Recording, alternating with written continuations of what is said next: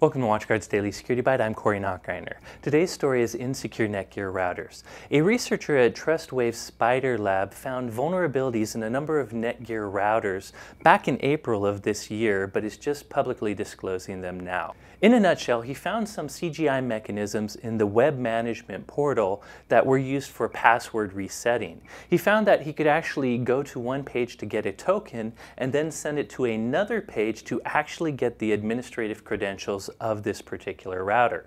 Worse yet, he later found that he didn't even need the token. Any parameter he actually sends to this particular password reset mechanism will spit out the admin password of the router, thus giving him full access to this particular router. And by the way, it didn't only affect his home router, but it affected many Netgear devices and many uh, white labeled Netgear devices as well. Now, what's kind of interesting about this is you're only affected by it if you haven't enabled the password reset mechanism. If you haven't enabled that mechanism, sending any parameter to this particular CGI page gives someone your admin password.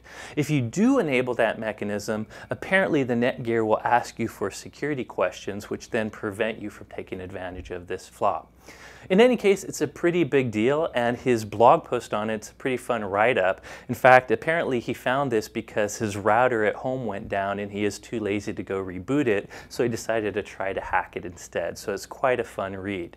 Another interesting note about his blog post is he told Netgear about this flaw back in April, and it's taken him quite a long time to patch. And apparently, in the past, Netgear hasn't had a great reputation for working quickly with security researchers, but in the end of his blog, he talks about some some improvements they actually are making as far as their security vulnerability handling. Long story short, if you have a Netgear router, you're going to want to read this post and see if one of your models is vulnerable, and if so, update it.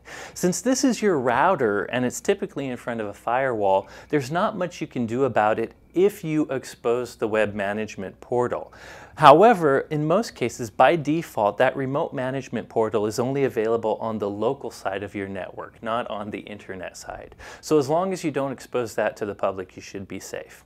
By the way, one other aside, apparently today uh, Trump plans on signing some sort of cybersecurity related executive order.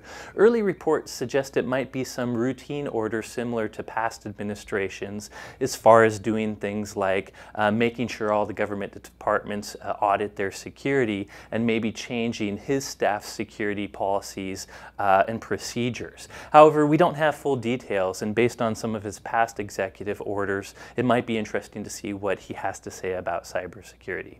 Anyways, that's it for today's story. Thank you for watching.